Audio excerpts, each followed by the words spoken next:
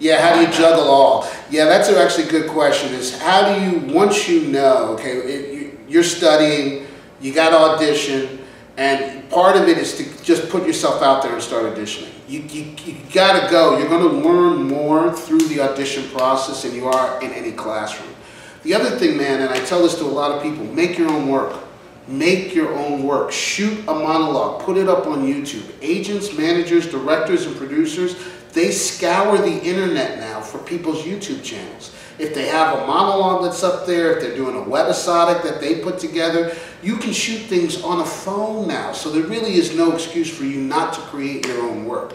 You can get together with a bunch of friends, write something, improvise something, and put it up but you want to always be in the creation of work and in auditioning. It's part of your craft as well, and everyone has to go endure the auditioning phase. So don't worry about juggling it so much. Worry, go, okay, I'm in class, now I'm also auditioning, and I'm also doing this webisodic, I'm also putting this monologue up, I'm also do, putting, creating this YouTube channel with a bunch of friends. Keep putting yourself out there.